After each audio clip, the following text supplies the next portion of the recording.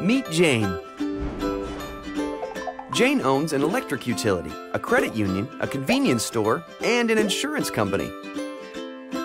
Wait a minute. Is Jane a billionaire? Nope, she's just your average Jane and co op member. So, what exactly is a co op? Co ops start with people who join together to meet a need, not to make money.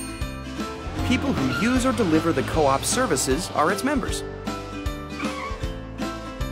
Since members own and democratically control the co op, their knowledge and participation are key to its success.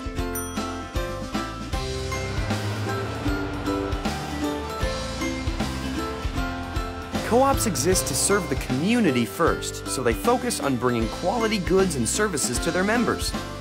Co-ops are a great choice for buying local and keeping jobs in the community. Some co-ops even pay you when business is good.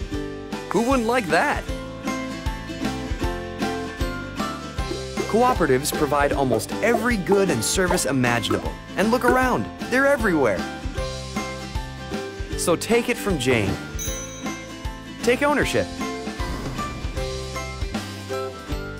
Join a co-op or two today.